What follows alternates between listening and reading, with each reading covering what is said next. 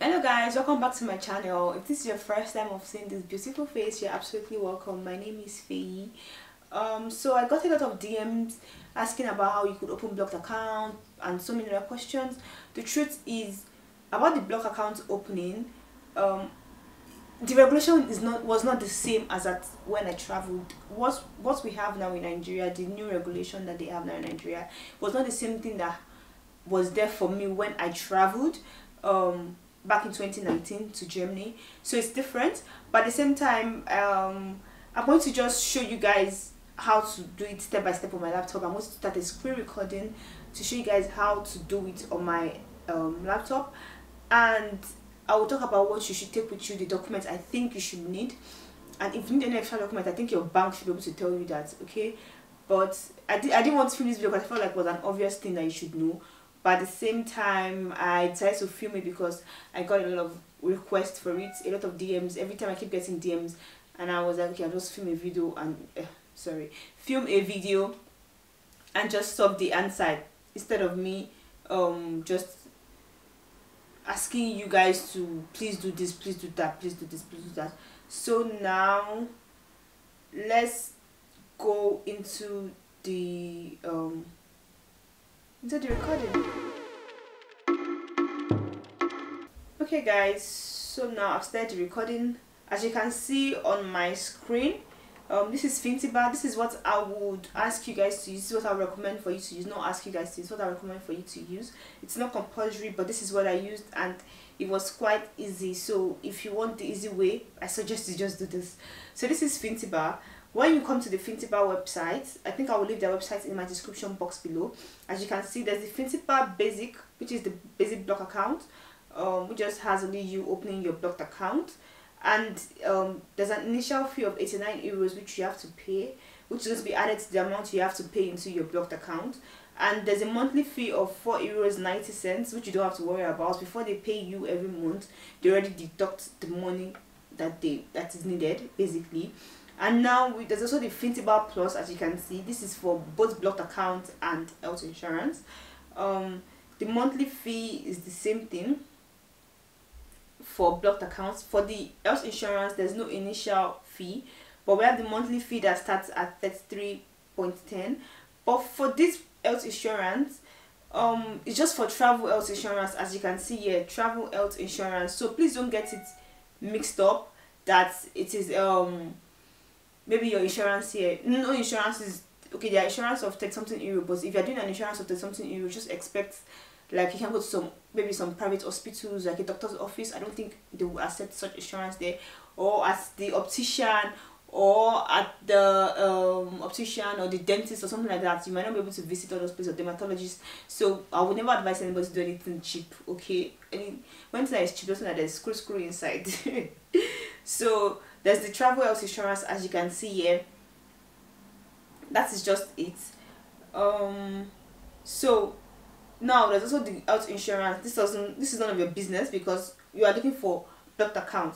Now let's assume we're doing the basic blocked account. You have to come to open account now. Once you come to open account now so you see this part which you have to fill. I would have to fill it for this video purposes I'll fill it off screen and then we'll move to the next thing. But before I it, let me talk about it because I don't want someone to be asking me, oh, you said this in the video, this, this. Because there's something I don't like talking about I feel like they're obvious to answer, but supposed to come to ask. For nationality, if you come in, you type um your nationality, your your your country, basically. Um, you have to select and not just type in. It's not going to go if you just type in without selecting. You just you just don't type in like for instance maybe you're a Canadian and just type Canada. You have to like select it in the box or else it's not going to work out. Okay guys, so for okay guys so for the reason of for stay now let's start studies this is for people that come here for bachelor's or masters okay bachelor's masters phd i don't know so that's for studies working they're required to pay a particular amount of money um into the account or something i don't know maybe for your first time coming here maybe because of your apartment or whatever i really don't know. Um out here that is for the help like when you're coming to help for kids or something like that i did a video about that already about six weeks to come to germany. Yeah so you just pick whatever is job seeking this is the job seeking visa the six month job seeking visa that germany introduced. So if that applies to you you pick it. And if it's other you pick it. So yeah for both of these most just use whatever name that comes to my head do this for whatever sake because i don't know. This is just a random name in my head. Um let's choose what's now um, let me see. What year now? Let's say this year. Okay. Um city of birth. Since i choose nigeria let me go lagos. Okay um yeah lagos nigeria um marital status let's say person is single reason for stay let's say the person comes for studies. Now you press on continue okay um i'm not married so yeah. Second nationality no. So now we move on. This is second one. Um you put in your planned date of arrival so let's say we're opening this year we're planning on coming first of august. First of august um let's say 2021 right? 2021 are you enrolled at german university? Yes. Start date of the semester let's say the semester is starting 11th of august 2021 that's just this is not real data this is just assumption okay? Let me put maybe University of Bonn.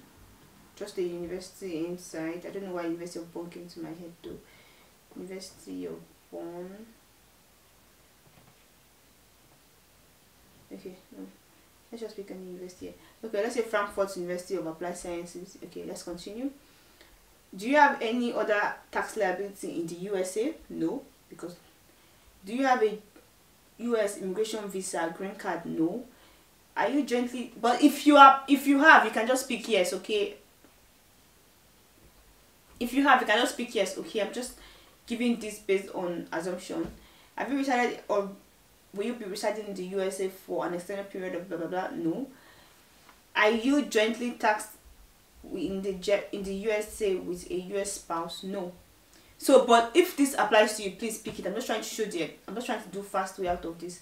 So now this is the agreement. I'm not going to finish this all because if i open account then i would have to like there will be an account open for me. I don't have to put money in there anyways but i don't want anybody to stop me for that.